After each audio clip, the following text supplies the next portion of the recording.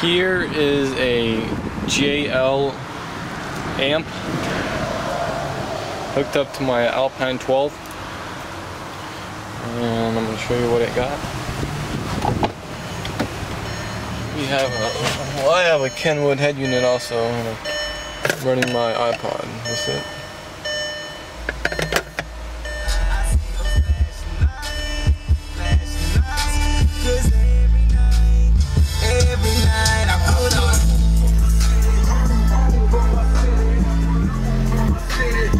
Showing you that it works.